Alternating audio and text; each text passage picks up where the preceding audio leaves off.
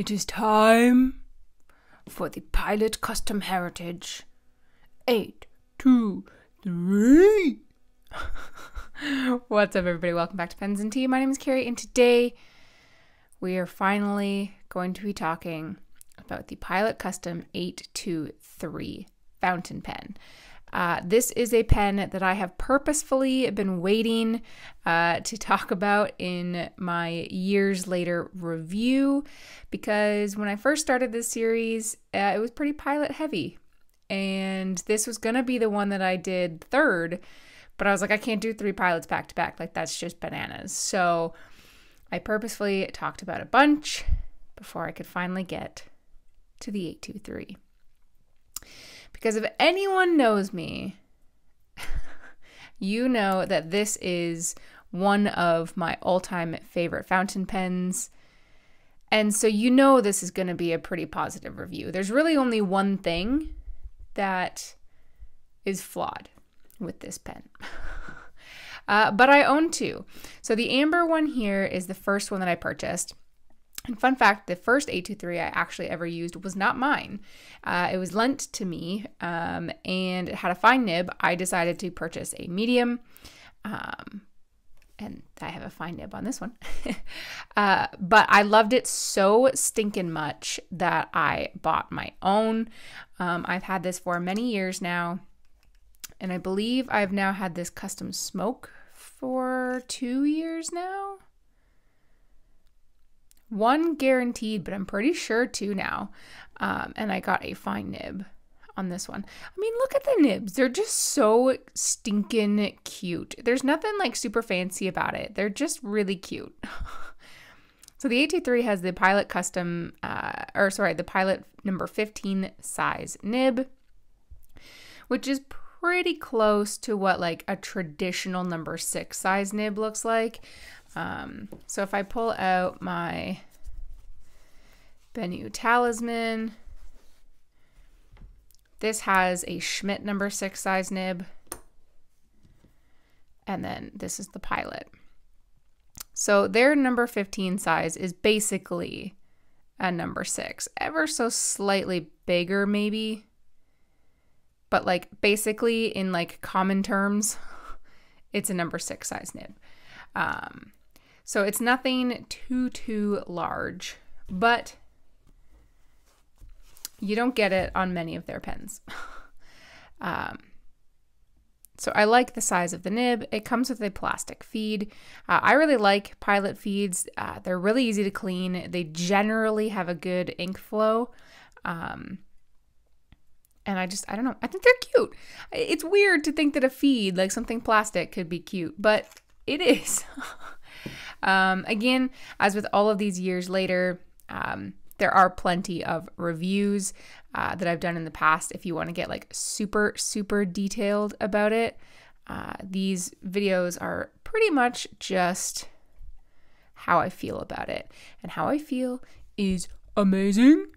Um, I love that the like black fill in of the um, engraved spots here have held up over time. Kind of a cigar shaped body here for the vacuum fill, which is funny because, like, vacuum fills typically um, I don't care for because they're usually bulky and heavy and a pain in the butt to clean. Um, but the pilot ones really aren't. And I just I don't have a problem with it. I really really don't. And it's so smooth. And it's that way on both pens. Um, I've never had to grease these either. Although I will say when I got this one and used this, I definitely do feel a difference in the one that I've been using for many, many, many, many years now, uh, and one that's newer but this still feels really smooth to me until I use this and then I'm like, oh shoot. this is like super, super smooth. Um, I love the way that it feels in my hand. This rod does add some weight uh, and it does have a little bit in the back, but it, it's perfectly balanced for me. Um, my thumb does rest on the th- uh, threads but it's super, super smooth um, because it's on like the super meaty, fleshy part of my thumb. So you really don't feel it. I have used this pen.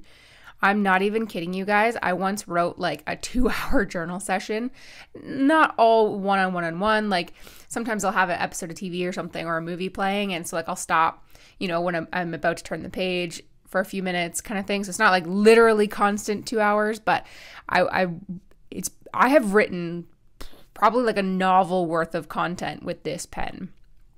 Um, and it is absolutely fantastic. I never post it. You can, but it is back weighted for me at that point. Um, it's just too much, but you definitely can if you like to post or if you have bigger hands. Um, it's so, so, so smooth.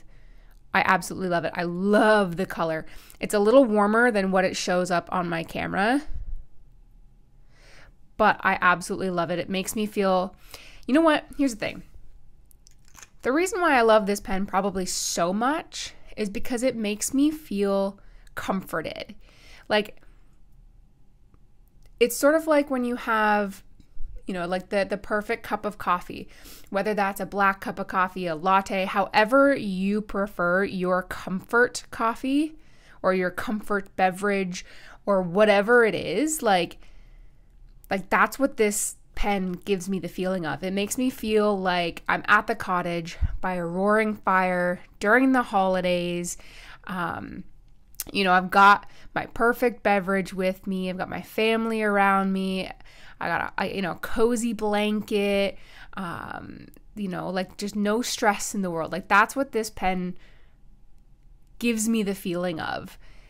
And I can't tell you why over anything else because even this one gives me that. This one does it more. Uh, and I don't know if it's because it's brown. I don't know if it's because the it's the first one I have.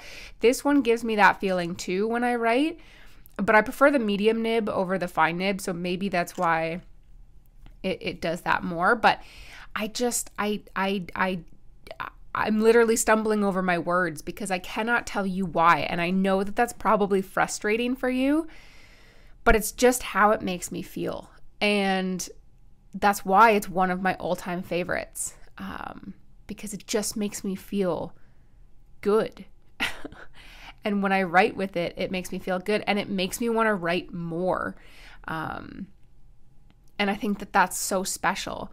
Now, I did mention there's one thing I don't like about this pen, uh, and that would be it has like a crack here in the cap, but it's not like a proper crack, if that makes sense. So, like, you can see it doesn't go all the way through. And, like, if you look here, like, you can't even see on the end. So, like, it doesn't go all the way through. And it doesn't cause any problems. Like, it's not like it doesn't cap properly. It's not even like on the back. You can't even feel it. So, I'm not really sure what happened there um, because it's not on. Don't roll away. It's not on this pen at all. So it's not like it's just a seam, which is actually what I thought it was initially. But there's nothing on this one. Um, but it doesn't cause any issues and like you you can't even really feel it and it doesn't go beyond like this cap here so I'm not sure even when it happened. Like, yeah, I'm not sure. But I've had it for so long now that I I don't even know if it's like worth reaching out to like pilot for to see if it's something they could like fix or replace because I don't think I could send this away. Um, I'm gonna move this one out of the way because we're gonna write with this guy. I'm just going to dip it today. Normally I fill them up, but I'm just going to dip it because I have so many pens inked up at the moment uh, with Pilot Iroshizuku Tsukiyo. Um, actually, you know what? No. No. Because here's the reason why. And you're all probably actually screaming at me. Because I know. I know I always put James Purdy and Son single malt in there. I know. So you know what? I'll keep with tradition. I mean, I'm almost out of this bottle, but don't worry, I have another one. So I will dip it in here. If you want to see like a full filling of it, I do it all the time. It, like I said, it's pretty much the only uh, ink that I ever put into this pen, but it performs the same. Uh, I did a comparison, by the way, of uh, the Benu pens, if you are so curious to find out. Um, let's dip it, shall we?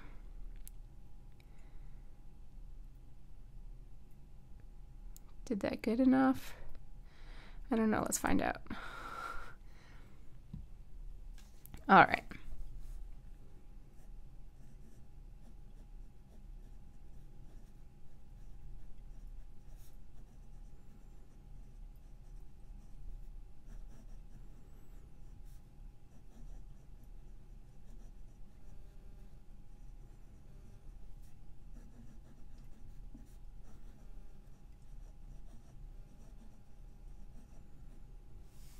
The quick brown fox jumps over the lazy dog, as he always does. I love this ink so much. It smells absolutely amazing. This pen just makes me feel so good. It is so smooth. It is quite wet. It's usually actually, to be honest, wetter even than this. Um, I don't think I dipped it very far. Um, you do get a nice feel when you use it. It's not a flex pen, it's not a springy pen, but it does have a bit of like, you know, shock absorber when you're writing, which is really nice. Um, it, I'm gonna have to dip it again. I don't think I dipped it far enough. But again, to be fair, I'm almost out of ink. Can you tell that I never really dip my pens? I've never had any hard starts or skipping. I know when I started writing, this one didn't catch for a second, um, but I think that's again because I didn't dip it far enough. Uh, because, yeah, years and years and years later, this pen just writes so beautifully, so insanely smooth. Like, my goodness gracious. There's an ever, ever, ever, ever so slight feedback when you write, but it's it's just the smoothest. Um, I did do a comparison between this and the Pilot Custom 74, also with a medium nib. Um, between that, obviously, and this, which is the 823 with a medium nib, um, because they do perform and write fairly differently. Um, so I do have a full comparison if you want to check that out because the Pilot Custom 74, I've already done the year's review. Uh, and I mentioned in that one that it has like a super shock absorbing feeling. And when you go with like an upstroke, it's wetter than the, or sorry, drier than the downstroke. Um, and a lot of people hate that. This pen does not have that as much. There is an ever so slight difference between the upstroke and the downstroke, like almost every pen I've ever used in my life. Um, but this pen does not have the same feel as the Custom 74. So if you've used the 74 and you didn't like it, um, there's a good chance that you would like the 823 because it, it dials back a lot of that uh, like squishy nib feeling uh, and adds in a little bit more stiffness. But if you've used like a JoWo or a Bock or a Schmidt number six steel nib, this definitely uh, has way more like squish, uh, shock absorb feel than that does, but not as much as like the Pilot Custom 74 medium. So if that is a concern for you, let me zoom out, um, then don't be afraid of this one because this honestly is just so, so good. Uh, normally it does reverse right a little bit, uh, but again, I just dipped this one. It's just, oh my gosh, you guys, it's flippin' dynamite. Uh, another thing that really impressed me with this pen is that this pen has been around for ages, ages and ages and ages and ages. And the price in the US, at least, hasn't really changed. Uh, it's $288, which is nothing to shake your tail feather at. Like it's it's it's it's a price tag. But considering that like the price of everything has gone up the past few years and like every pen, even ink now is getting insane. Um, you know, like that is really impressive that they've never changed the price of this pen. Uh, at least as of today. today, it's uh, as I'm filming, is August 9th, 2022. So, with any luck, this won't change in price uh, by the time you're watching this um, because I think it's perfect where it's at. I think it is perfect where it is at. Uh, and this is a pen that I think I can truly say I will never sell. Um, maybe I might let this one go, maybe, maybe. but the amber one will be with me until the end of time. I truly believe it because it just makes me feel good. uh, but let me know if you've used it down below, what you thought. Uh, if you want me to do any other year's review, let me know in the comment section down below. And if I still have that pen, I will make sure that I do it. While you're down there commenting, you might as well hit the like and subscribe. New videos come out every Monday and Friday, uh, and the occasional on Tuesday. Uh, if you check out the description, you can click on the link for my Patreon account if you would like to support me and what I do over there. It would mean so much to me. And as always, I appreciate you very, very much. And I'll see you next time. Bye. Well, all right, all right, all right. Today it is time to say thank you to all of my Patreons. I am so grateful for you. Today is, is July 3rd. So if you do not see or hear your name, uh, just be patient. I update it as soon as I can. So for our ultimate human, we got Daniel Roddy. And then for my VIPs, we have Glenn Kelly, Joan Worthman, Brian Hunter, Aaron C., Luna Wolf Games, Bobby A. Bailey, Bass, Weilei Chang, Brian Law, Lucas Bell, Aubrey Madcourt, Marissa Calvo, Eric Lineman, Jessica Chow, Stephen Baldwin, Carol Lowry, Michael Simon, Sean Sturdy, Catherine Molina, Robert Myers, Bill Pemberton, Karen Epstein, Gretchen Peters, Subi1 Kenobi, Bianca Andrews, and Digital Tent Tech. And lastly, but not least, McCall Bennett Lawrence. So thank you, thank you, thank you to everyone, no matter the tier you're in, uh, whether it's bottom or top, does not matter. You all make what I do here possible. Thank you, thank you, thank you.